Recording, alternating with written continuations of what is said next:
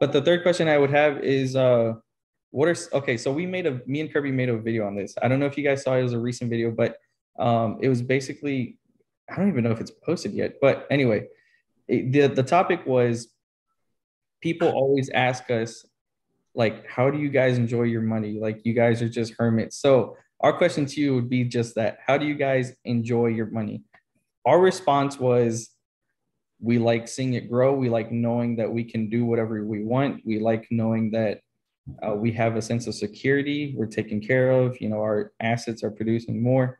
That's how we enjoy it. I don't know if it's the same for everyone who's financially successful. So, how do you guys enjoy your money? We uh, mostly it's like I was telling Lynn, it's like Monopoly, like a game because okay. no, it's like we're all on the same page. Okay. it's like okay, I like winning at the same time because people sometimes uh you know they don't want to say this. You like winning okay it's good. You just like to make more money. Do we eat the best chicken in the world? No. We go to the same store buy the same stuff because i tell lynn i don't have time to eat. Like we don't have time to sitting and enjoying slowly eating the best chicken. Once in a while I tell Lynn, I, I think eating is a waste of time. Mm-hmm. it's a task. I'm like i don't want to feel hungry. I, I, wish i could spend more time with my kids my family enjoy and be happy. Right. but we eat the basic. We cook at home. We try eating healthy.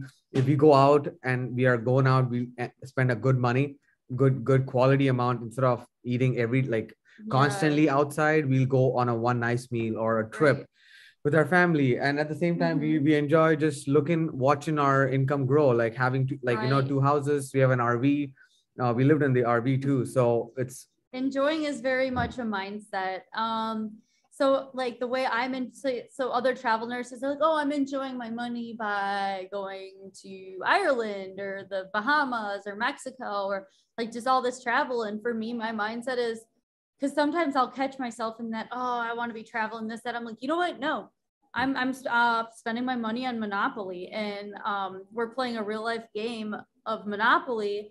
And that makes me feel so much more enthusiastic about it. Also, we do spend the majority of our time on the West Coast.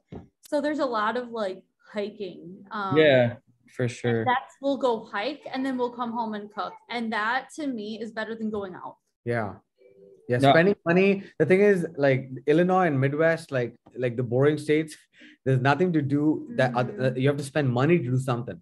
Right. like if you go out you're like what's the fee to enter this area.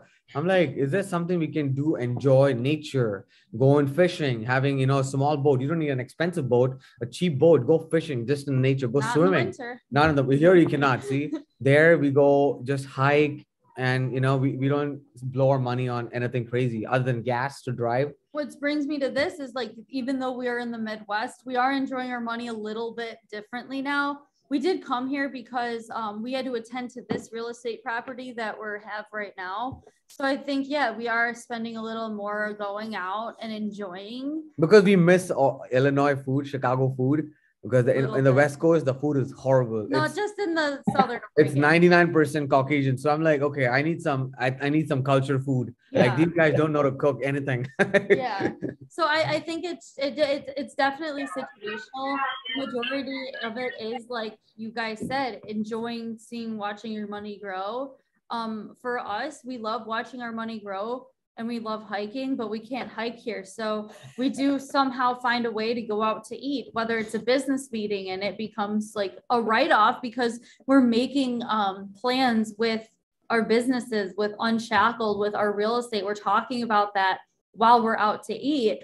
Um, so in a way, it is still pouring into making the money grow. Yeah. But whatever um, we spend, we are like, we like, you know, we'll try to get the benefit of being a business owner, having an LLC, have being in real estate, or right. you know, yeah. Right.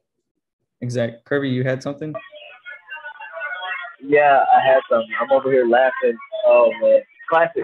Because I agree a lot on the, a lot of the points that they're saying. Um, the the main ones, me, I'm like the master of business meetings because I like to go out and eat.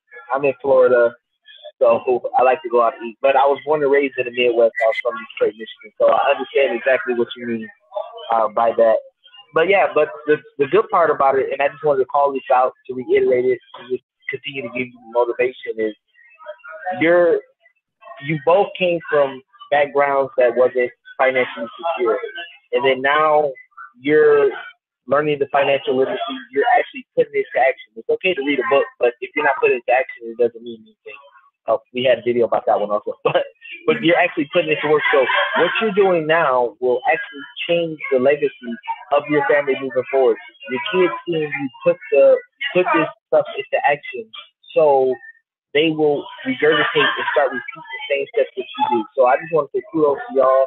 Good job, and I love the story. I love the story. Thank you. Thank you.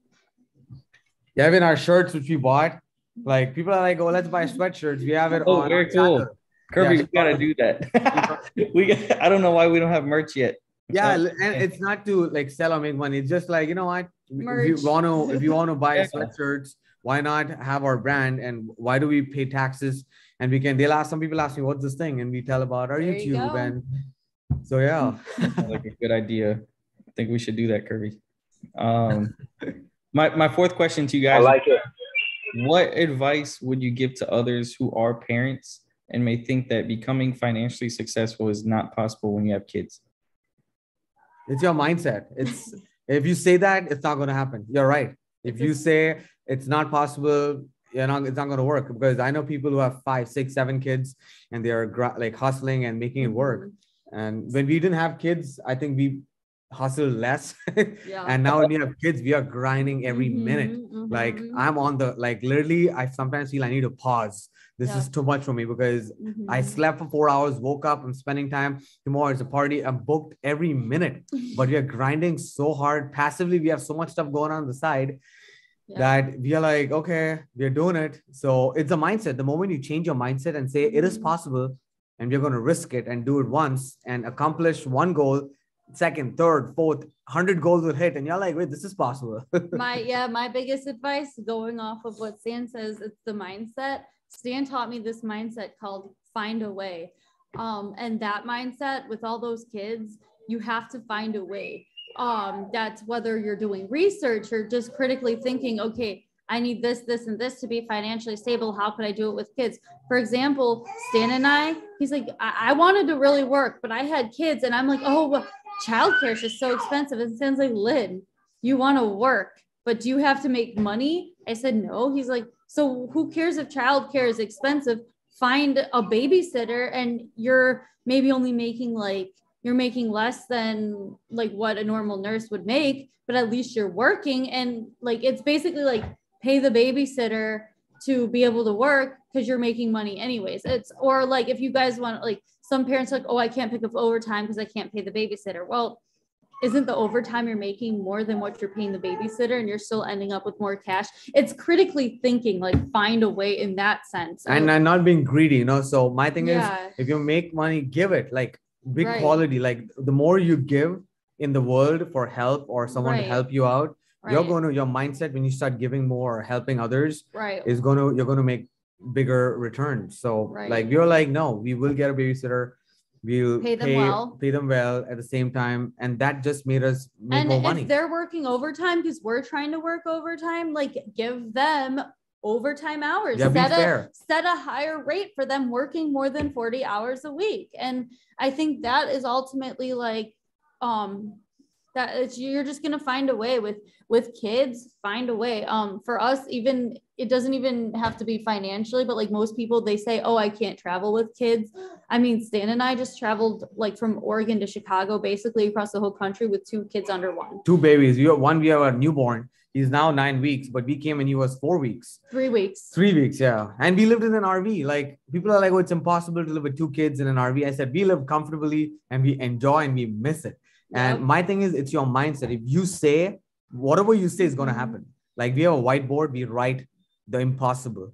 And we say, look at it like Steve Harvey keeps saying, you know, write the goals and keep looking at it every day. Your mind Right. will start sparking ideas to make that Mhm. work. That's a big Uh-huh. secret I learned. I'm like, my our minds are so powerful. If you write something down, your mind will start sparking to get that to happen, even though it's impossible. So Right. I love what you're saying, and I know it's music to Kirby's ears right now. He's probably loving what you're saying.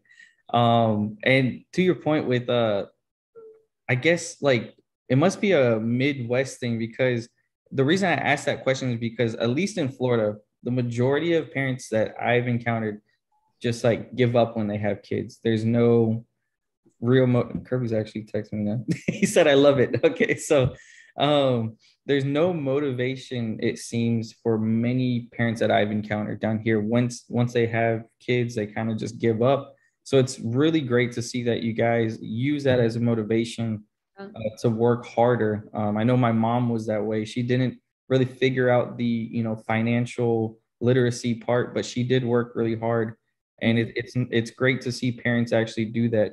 Hey guys, thank you so much for watching. Um, like button, subscribe, check out their channel for sure, and we'll see you guys in the next video as always.